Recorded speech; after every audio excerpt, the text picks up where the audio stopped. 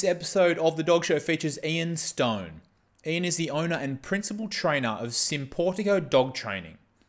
Simpawtico uses intelligent and creative training techniques to help you manage, motivate, and learn about your beloved canine family members. Ian also has a master's degree in teaching from Southern Oregon University and lives with his wife and four dogs in upstate New York. In the interview, we talk about why puppies bite and chew, the importance of understanding bite force with your dog, and some tips on how to stop puppy biting. So, Ian, welcome to the Dog Show today. Thanks very much for coming on. Thank you, Will. Thank you for having me. I really appreciate it. Yeah, great. Um, so, you grew up with a, a chow chow, I believe, named Hotai. Um, yes, sir. And, and today you have a you know a huge clan of dogs from bulldogs, Boston Terrier, a Jack Russell. Uh, can you tell me a bit more about you know your history with dogs and and why you've got all these different breeds and, and why you love them? Oh, sure. Yeah. I mean, uh, I grew up, you know, with uh, I had chow chows the whole time I was growing up, um, and one Norwegian elk hound, which are you know, especially with chow chows, they're not typically you know what you would consider what many people consider uh, family dogs or childhood dogs, you know. Um, and it wasn't until I was a lot older when people were like, "Oh, chow chows, yeah," and I'm like, "What? What are you talking about?" You know? Yeah. Um, I mean, they were always wonderful, wonderful, wonderful dogs, and Hotai was definitely my buddy, you know.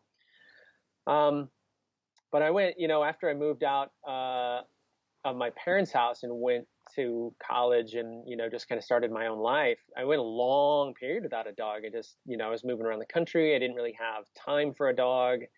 Uh, i was like ah, yeah, no no i don't really need a dog even though i was a huge dog person growing up. I mean mm. just i mean i remember going to my when i was 16 going to my girlfriend's birthday party you know and like met her dog in the driveway and like a half hour later everybody comes out and like are you are you coming in or what? You know because i'm still hanging out with the dog so I went a lot of years uh, without a dog in my life, and then um, when I was in New York, I moved out to New York, upstate New York, and I kind of settled in. Uh, you know, had a nice house and stuff, and then uh, I remember like I saw I saw a bulldog hanging out of a window of a car, and I just I remember thinking I really like bulldogs. I think I'm gonna get a bulldog, uh, and that was that was that. That's actually that's actually Dexter, my bulldog. He's almost 13, which oh, wow. for a bulldog is ancient. Yeah, that's a, uh, a good innings, as I'd call it. That's probably in a cricketing term, though, so I'm not sure if you're familiar with that. But yeah. no, but yeah, the metaphor absolutely. Yeah, yeah. That. And he's still he's still trucking along, um, and that really kind of reignited my whole passion and love for dogs. And uh, here I am. I got two bulldogs and a Boston Terrier. I love Boston Terriers. It's actually my third Boston Terrier since then, um, and my Jack Russell. And my Jack Russell is actually how me and my wife met. All right. Um, yeah. how, how did that happen, sir? Well, so uh, when I uh, I started dog training, um, one of my very very very first group classes I ever did was a small class um, and there's a whole story they could go into about my wife, but long story short, I had seen her around town. I thought she was really cute, but it was just one of those things like, you know, that's that. And then uh, when I started dog training on my own and I started uh, running a class, the very first person that signed up for my very first class was her. Oh wow, Jack Russell. Uh, yeah, and so um, she went through a couple classes and kept coming back and you know we started talking. We had a lot of commonalities and things we liked and it was just like you know we should hang out one time. And then she was like well here's my phone number and that's cool. that was that. Well for for people out there that are you know looking for love i guess there's some advice like connect via your dogs, I guess. oh, for sure. Yeah, yeah. That's it. Yeah. If if you like dogs, that's a shoe in. Yeah. It actually is a great way to you know start a conversation with someone. Like if you're a dog person, right, and you've got a dog, or someone else has a dog, it's just an immediate kind of way to chat. But Oh, sure. Yeah, yeah. You've just got something right away in common, you mm. know. And there's a lot of things you could disagree about, but most people that are dog people are always, you know, right on the same page. Yeah, yeah, yeah. Actually, I mean, I usually dive a bit deeper into the different breeds that we're discussing, but there's so many going on. Um, I guess I'm most intrigued about the Chow Chows just because of their look, and I guess they're a little bit more, they're a little bit rarer than you know your bulldogs and stuff like that as well. Yeah. Um, yeah. What are their personalities like? Is there anything that you know most people wouldn't know about a Chow Chow that you could share? Well, you know, I would say most of what I tell people about Chow Chows is gleaned from my experience as a dog trainer, right? So if I hadn't had any dog training or behavior experience and, you know, we were just on the street and you're like, oh, you had Chow Chows, what do you think? I'd be like, oh my God, they're fantastic dogs. Mm. But that was just my very limited experience, you know, and even though I didn't know anything, I was just a kid, my parents didn't really know anything about dog training. Like somehow we managed to cultivate these really wonderful, family oriented, friendly, tolerant Chow Chows. Um, but those are not adjectives that are normally applied to chow chows. You know, mm. they're very usually they're kind of persnickety. They're stoic. Um, they can be uh, very selective with the kinds of people that they bond to. Um, and I have definitely seen that with chows that I worked with, either in my practice or you know in my work with the shelter. Uh, you know, they're I would not say that they're a breed normally recommended for first timers, uh, mm. they're kind of a an interesting tough nut to crack. Um, so you know they require a lot of patience, a lot of structure, a lot of routine, uh, and a lot of good trying to cultivate that friendly, outgoing dog because they're just you know they kind of live up to the mythology. Uh, they're they're an interesting breed that's just not for everybody. Mm. So I think I was very fortunate growing up. yeah, it sounds like you had a good run, but you know, what I'm hearing is that if it's your first dog or you're thinking about getting a puppy, it's probably not the best one to the best breed to be looking at to start with because it could be a lot of work and a lot of yeah require a lot of your time. Yeah. So and then I mean you have all the the the personality issues that go with the chow chow, but the other thing with chows is that they have a tremendous coat. Mm. So there's a lot of upkeep with them too. I mean, we're talking regular brushing, grooming appointments, uh, you know, and just like any of those dogs with coats like that, like you have the summer blowout, and I mean, it just comes off in sheets. Mm. So, you know, if you are going to get a chow chow, you're going to have your hands full on several different fronts. so just, you know, buckle your seatbelt. yeah. I imagine their coat is more suited to a cold climate as well. Would that be fair to say or? Yeah, cold or temperate. I mean, the blowout is they get pretty lean as far as the coat goes in this in the spring and summer. Mm. Um, so they do okay, but you know, it, you know, you know, in a really hot climate like in Arizona or you know something like that, mm. they would they would definitely struggle. Yeah.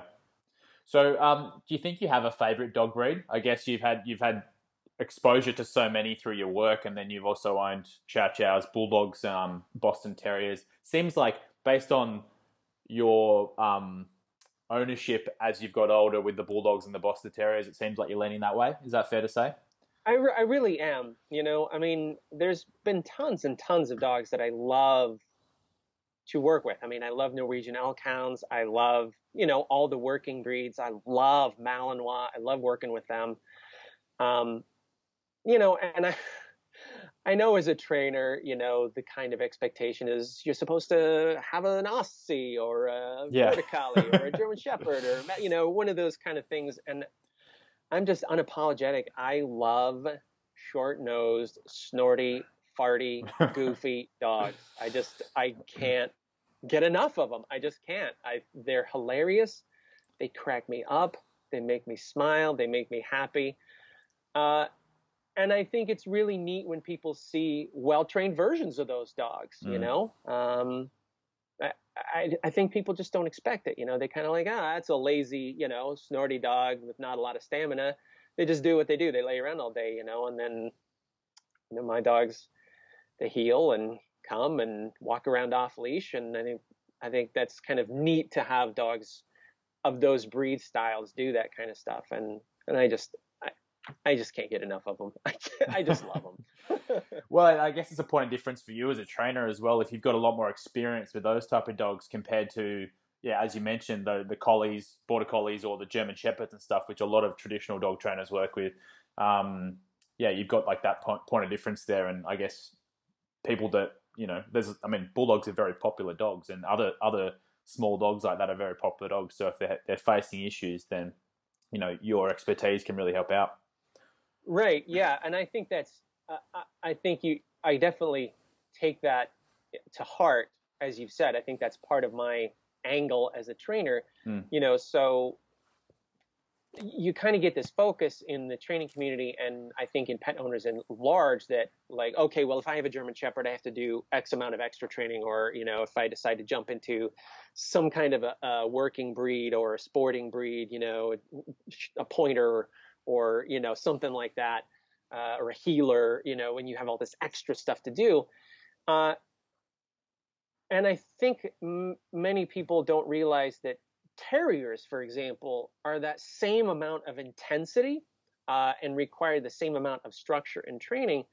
Uh, but because they're smaller, you know, kind of scrappy and sometimes yappy and even sometimes kind of neurotic, you know, that, that kind of gets forgotten, I think, in the general wash of training information. Uh, and so you know, with my Jack Russell, that's that's another breed that people are like, oh, Jack Russell, you know, and there's all the mythology like, oh, they're so scrappy and they're so crazy energetic and stuff. And I'm like, my Jack Russell's a community good citizen. Like yeah. he's several levels up above. Um, and so I think taking a terrier, whether it's a Boston Terrier or a Jack Russell Terrier or a Westie or a, you know a Scotty or a Russian Terrier, any of these kinds of cool breeds that are crazy and energetic and scrappy and people struggle with, and say like we can do it, we can do it. yeah, you know that's an important. Um, I think that's important uh, to have, and and I love terriers. I love their energy. I love their scrappy. I love that they're kind of bananas and running around, jumping off the walls and and I guess the, there you go. That's that's my thing. It's the terriers and the the, the short nosed snorty dogs. Yeah, well, I've got a French bulldog myself, and um, you get a lot of that the bulldog, like the snorty and the farting and the laziness, but they're high energy dogs as well. Like they run around bouncing off the walls, like pretty much as much as you allow them to. So yeah, yeah, there's a bit of both. Frenchie's got some sass too. Yeah, yeah. Know? They're kind of like, well, I don't really want to do that right now. What are you going to do about it? You know? Yeah and you gotta you gotta pull more tools out of your back pocket than you would with you know some of the sort of more agreeable breeds. Yeah yeah. Um, okay so how did you get into all this stuff? I mean you've got like this amazing online platform now like over 200000 youtube subscribers and all this really great content and everything. But how, how did it all start? How did you get into it to begin with? Uh, well so i was um, I spent a lot of years as a, actually a high school teacher, um, and I traveled around and worked in a couple different states uh, as a high school teacher, and then I was doing uh, illustration, graphic design, freelance on the side, and those were my my two main gigs. That mm. was really it. And then uh, when I moved to New York, um, I went through a really bitter divorce. I mean, it was just savage, uh, you know, and as those things do, you know, my mental health just went in the toilet. Uh, I wasn't sleeping. I was hallucinating at work. I wasn't eating. I was just tons of stress. Uh, and so consequently, I ended up leaving the teaching profession. Uh, and so now I find myself, I'm stranded in New York. You know, my ex has gone back to the West Coast. I have, you know, bills. I'm suddenly out of a, a well paying job. And I, what do I do? Hmm. So I just started putting out applications to places just to start getting some income and start paying the bills and getting back on my feet. Well, one of the first places called me was a PetSmart, right? So I went in, interviewed, uh, interviewed really well, and they're like, "So you have a teaching degree? Like you have teaching experience? Well, we need a dog trainer. Like, okay. what do you think of that?" And I'm like, "Yeah, that actually sounds like a lot of fun." Um, and that was that. I mean, back then, PetSmart's program, their training program was was way more robust. Mm. Um, you know, it was good practicum. There was uh, a long period of internship and kind of apprenticeship.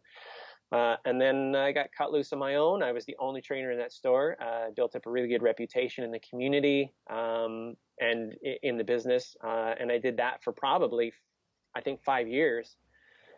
And then, you know, I just got to a point where my abilities as a trainer and my interests as a trainer were starting, you know, to grow beyond what that corporate world would be. And PetSmart had been bought by another company, and so you know their adherence to training and their support was starting to really kind of crumble and break down. And I was just not happy with it anyway. Mm.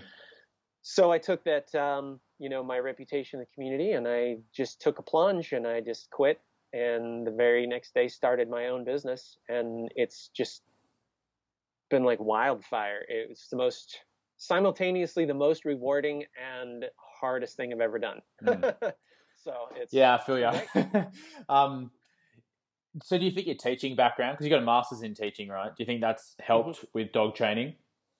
Absolutely. Yeah. Absolutely. Because I mean, you know, when you learn to be a dog trainer, there's a huge portion of learning to work with the dogs. You know, so you mm. learn methodology, you learn ethology, you learn uh, strategy, you learn uh, procedures and tactics and all that kind of stuff for working with the dogs. But you know, you get to a point as a dog trainer where working with the dogs is really easy, you know, mm. and you do it a few years, you're like, the dogs are easy.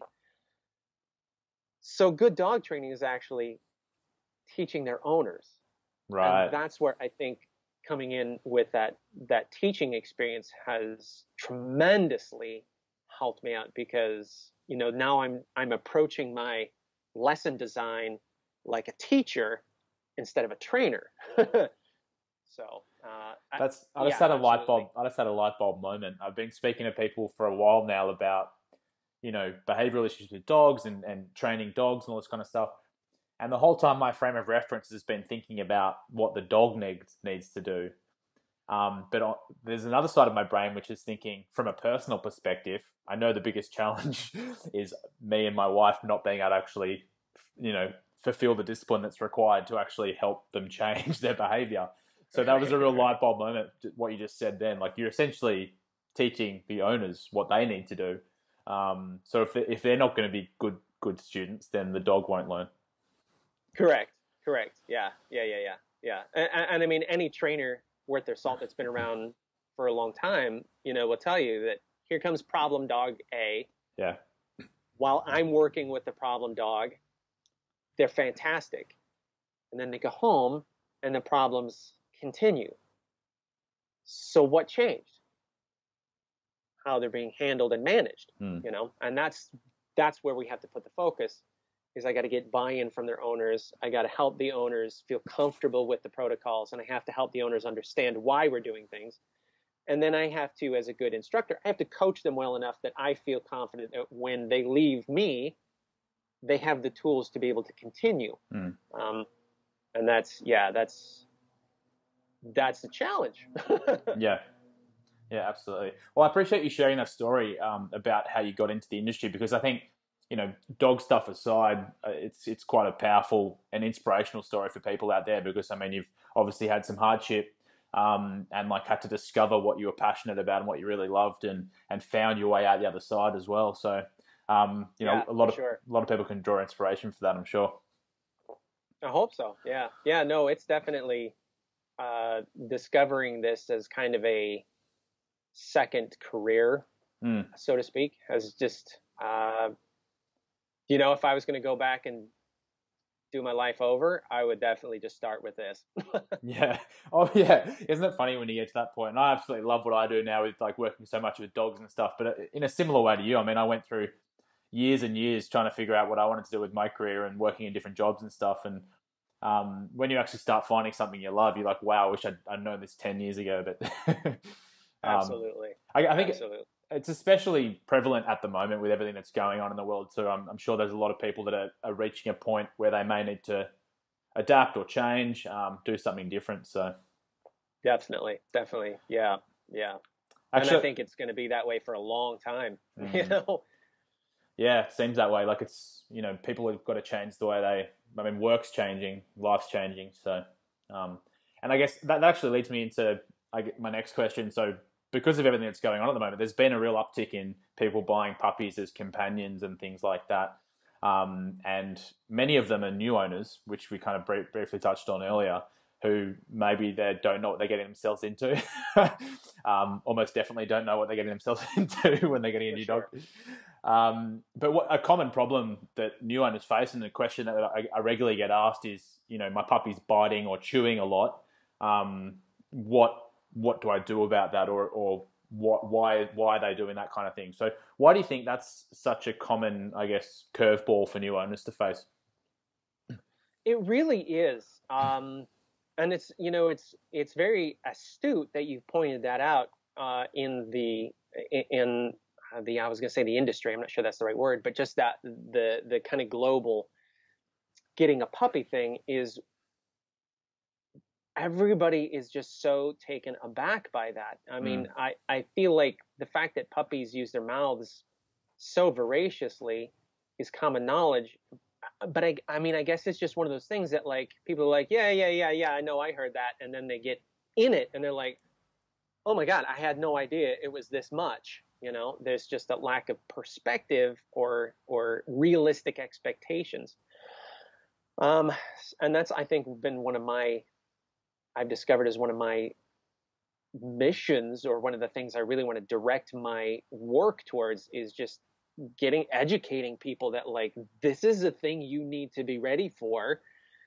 Good trainers will help you with the tools to deal with that, but understand this is what you're getting into. Um, and I think many people don't. You know, they get a puppy and they're like, "Oh my god, it's so cute," and then the realities of raising a puppy are just uh, it's a hard pill for a lot of people to swallow. Yeah, absolutely.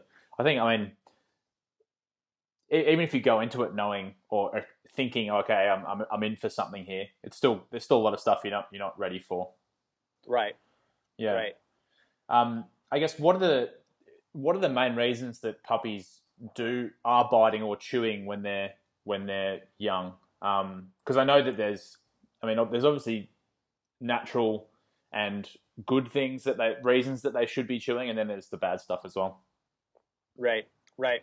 So uh, I think one thing is is it's important, or at least I really try to make a distinction between biting and chewing, mm. and that's a really common uh, conversation that I have with new puppy owners and dog owners is that those two things are very often kind of uh, conflated together, biting and chewing, but they're technically separate uh, behaviors that serve different needs for the dog in question.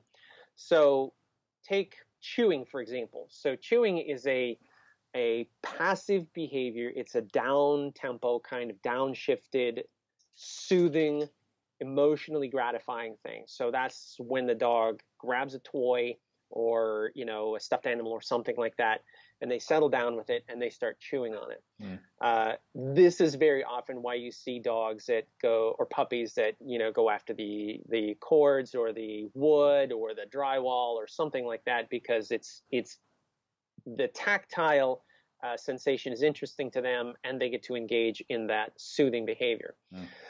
Uh, now biting is a different thing. So puppy biting is active. It's up here. It is full on interactivity, right? Chewing is a, is a solitary behavior, biting is a fully interactive behavior.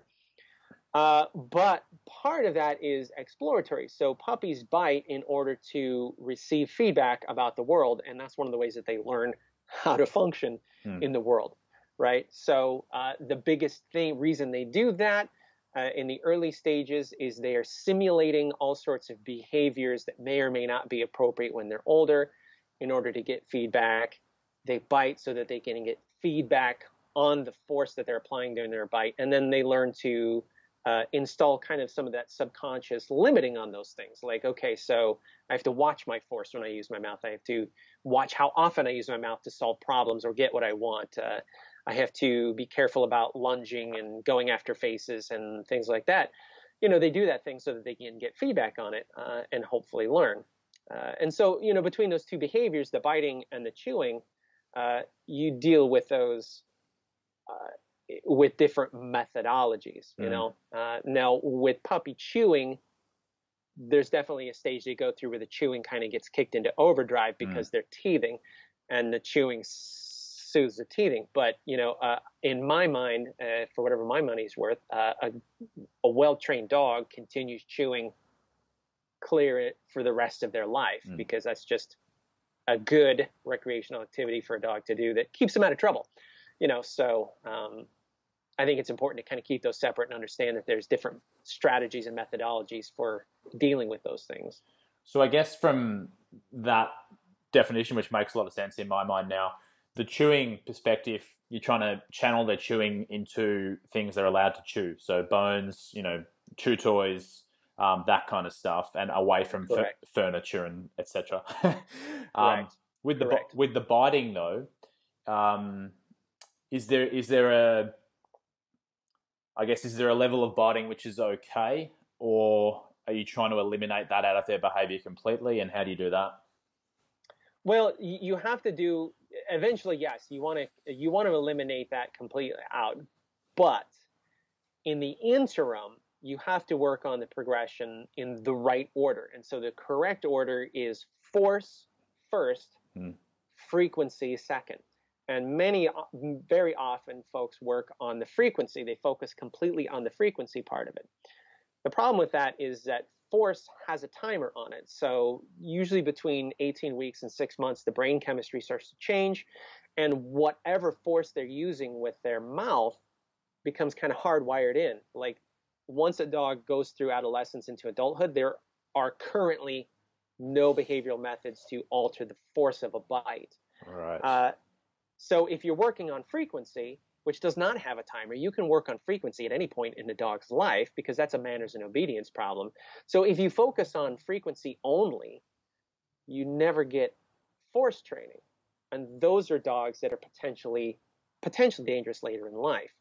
Uh, so the two variables in a dog's brain are force is usually measured by what we call acquired bite inhibition, frequency is generally measured by by threshold, like what is the amount of stress a dog has to undergo before they use their mouth to solve a problem. Well, like I said earlier, puppies do a bunch of knucklehead things because they're simulating stuff. So they bite even though they're not necessarily under stress. Mm. This is how they simulate those situations and then they get feedback on it. So later in life, when they're in this stressful situations and they feel like using their mouth, there's that unconscious limiting that's just like, eh, pump the brakes a little bit on that mouth. Uh, and that's an important skill for a dog to have as they navigate through human society, right?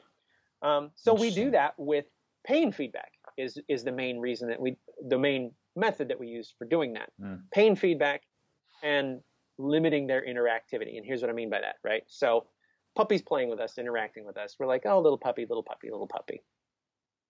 Starts chomping, they're sharky, right? So if I jerk away, I'm triggering that chase drive. I'm just ramping them up. I don't want to do that. So I start doing it the same way an adult dog would, right? So if that dog is hanging off, that puppy's hanging off an adult dog's face, at some point that adult dog is like! Hmm. and the puppy's like, whoa, whoa, sorry, sorry. And then the puppy comes in a little softer, and the adult's like, okay, we're back on track. Thanks. No harm, no foul. And that's really important dogs don't hold a grudge. So the puppy's doing that. We give them a pain response. We're like, ouch, hey, don't do that. If the puppy bucks their head back, we go, hey, great, good job. You and I can continue to interact. If the puppy comes in again, you know, we give them another, like, ouch, you little worm, stop it. If they buck their head back, like, fantastic, we'll continue. If they do not, then here's the important part you eject. Mm. You completely dip out, interactivity stops. And so it's very important, and we talk about this a lot with puppies in general, you know, that they have a limited environment. So that means when you're interacting with the puppy, you're either in a space that you can escape from, or the puppy's tethered to the furniture so that you can escape out of range. It doesn't work if you take the puppy and put them somewhere because that's not how they learn. It's not fast enough. You need the puppy to understand your behavior has a direct effect on the outcomes that you're experiencing, right? That doesn't work the first time. It doesn't work the second time. It doesn't even work the 10th time. But by the 25th or 30th time, when I say ouch, the puppy's like, that means you're about to leave. I need to start reeling it back because they don't want you to leave. Now, you can dip out if they get too intense, 60 to 90 seconds. Mm. You come back, and like, can we try it again? Uh, you know, and it's just, I think where people really struggle with that is you know, they do that, they hear this advice, and they say, well, I said ouch, and it jazzed him up. Okay, well, it's new to him. He's, you need to do it more.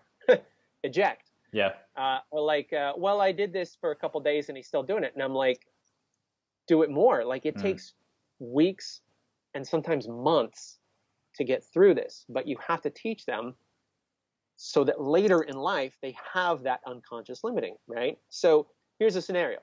Say a dog's asleep in the living room. A three-year-old dog's asleep in the living room. Toddler runs through, as toddlers do, steps on the dog. Now, a dog that gets startled out of sleep is going to come out swinging. A dog with great bite inhibition won't even make contact because he's got that great unconscious limiting. A dog with very poor bite inhibition might otherwise be a great dog in other aspects, but because it doesn't have that limiter, might potentially really hurt that kid, right? Because he's startled.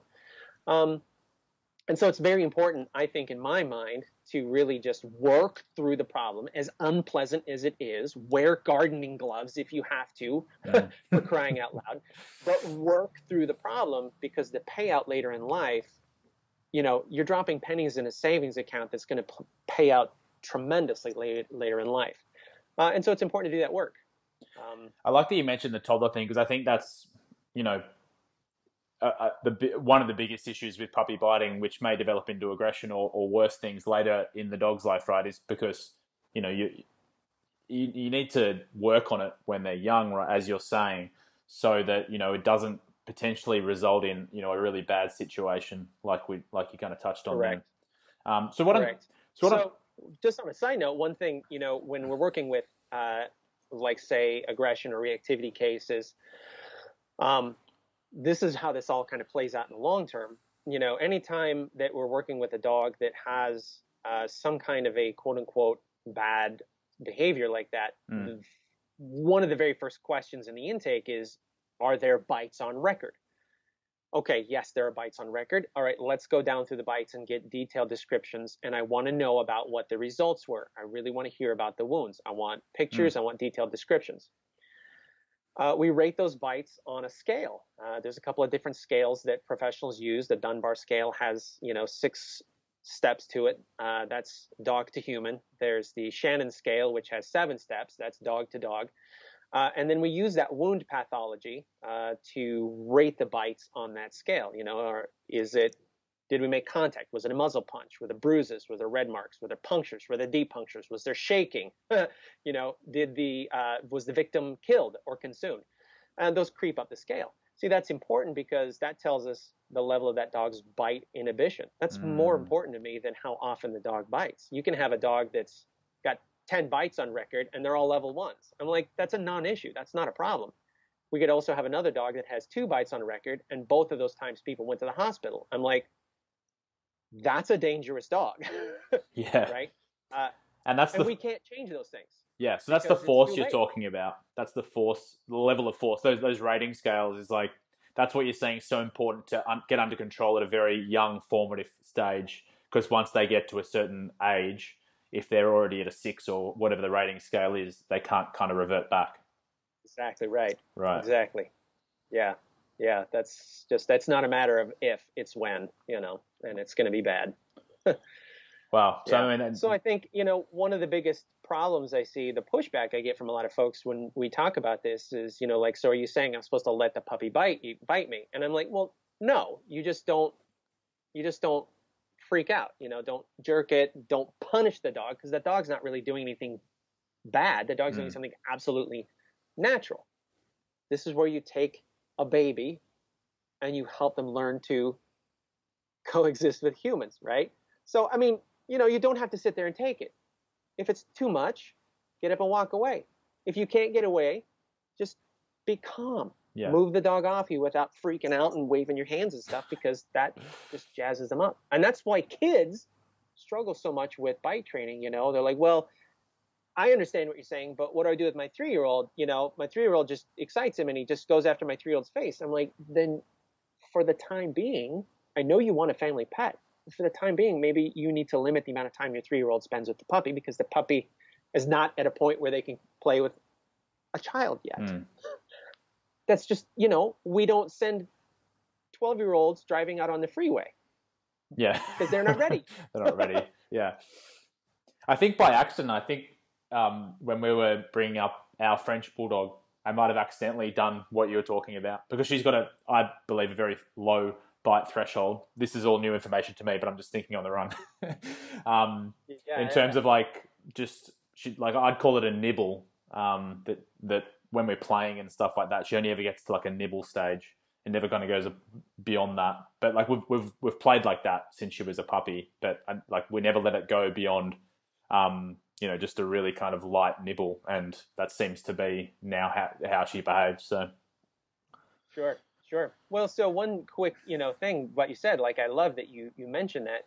Just understand the critical difference is is if she's nibbly on you while you are playing, hmm.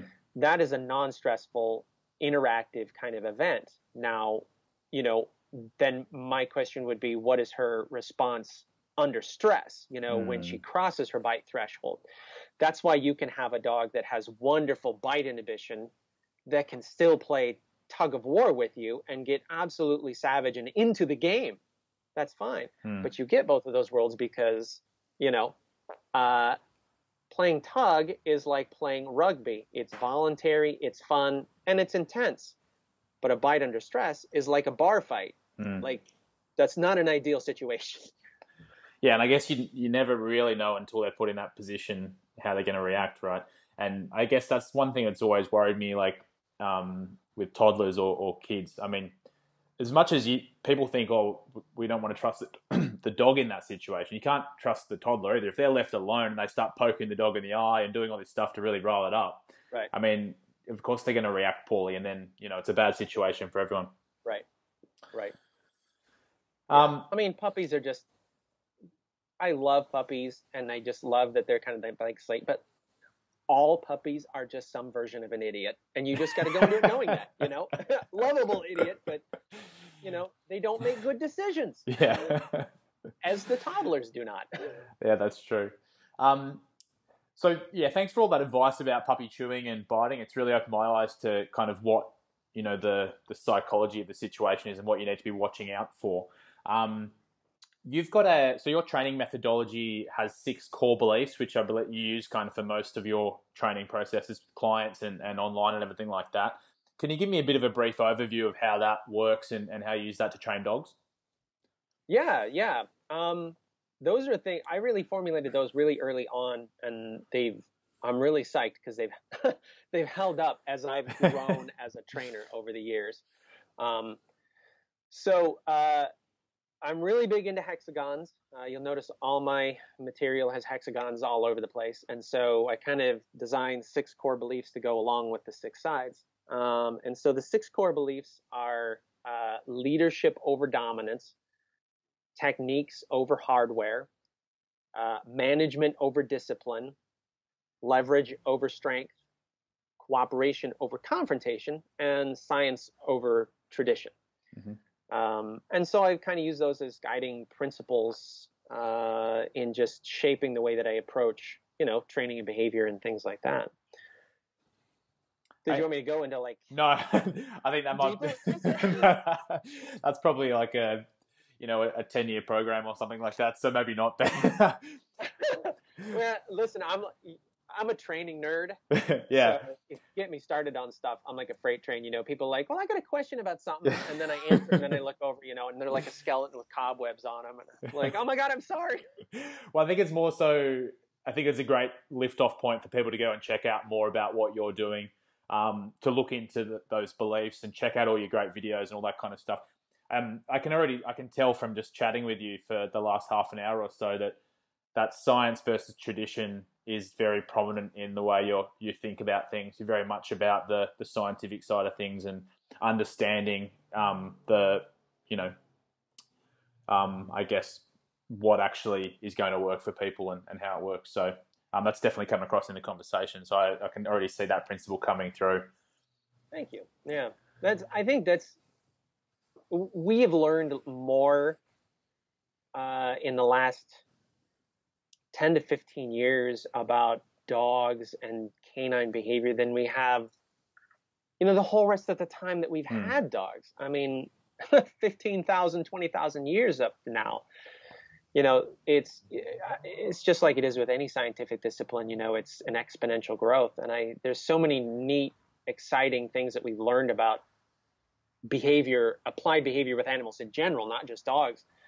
Uh, I just feel like that the zeitgeist in dog training just hasn't caught up yet. You mm. know, uh, I mean, I not to denigrate any of my fellow colleagues in the industry because we're all on the same side, mm. but there's just still so much stuff that's you know 30, 40, sometimes 50 years old methods out there, and it's just like we know more now. You know, there, we we know better. Uh, and we've seen it work. We've seen it in action. Um, the the the peer reviewed papers are out there, man. Yeah. Uh, and it's just uh, it's it's hard to get you know the cultural piece to catch up with the science piece.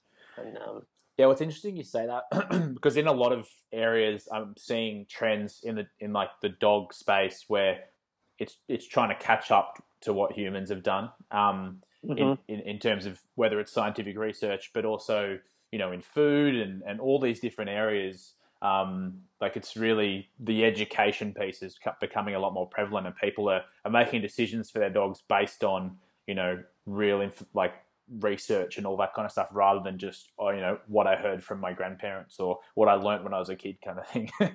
yeah, most definitely. Yeah, yeah, most definitely. You're exactly right. Um, okay, yeah, so that's exactly what a lot of people say. It's just like, yeah, you know, that's how we've always done it, or that's how my grandparents yeah. did it, or my dad did it, or you know. Uh, uh, yeah, it's tough to overcome kind of that that um, lack of momentum, I guess. Well, it's inbuilt in us, and I guess unless you're facing you know prominent issues that you need to overcome, you're probably not willing to break those kind of. If if it, yeah. if it ain't broke, don't fix. I guess, but um, yeah, yeah. Well, I mean, and that's how it is with not just dog training. I mean, yeah. I mean, geez, pick a subject on social media. Yeah. and we described it just now. Yeah. yeah. Um, okay, so where can people find out more about everything that you're doing and get in touch and check out all your great content? Yeah, uh, we're all over the place. Uh, I mean, uh, we've got a website has a lot of awesome free materials. Uh, sim- my business is called Simpawtico Dog Training. Uh, I'm sure you're going to link to all that jazz. Yeah. Um, you know, we're on YouTube. Facebook. We do Facebook Lives. We're real active on that weekly, you know, little things. Um, Instagram, Twitter, LinkedIn, Pinterest, Patreon. You know, we're all over the. My face is all over the bloody place. So, uh, and I'll I'll make sure it's all over all of what we're doing as well, and, and share all that with everyone. So. Um, Ian, thanks so much for coming on the Dog Show today. I've learned a huge amount. It's been a really, really enjoyable conversation, and I know that all of our listeners would have got a huge amount from it as well. Thank you, thank you. I, I hope so, and I really appreciate you having me on. It's just been it's been a pleasure talking with you. You too. Thanks so much. Take care.